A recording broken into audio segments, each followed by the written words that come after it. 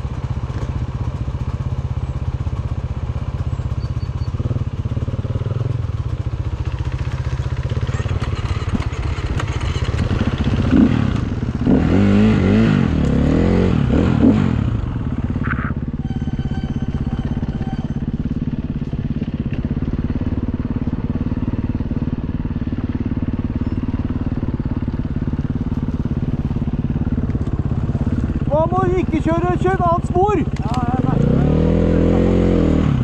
Kjører du til venstre, høyre, høyre kan du si? Da kommer du rett opp.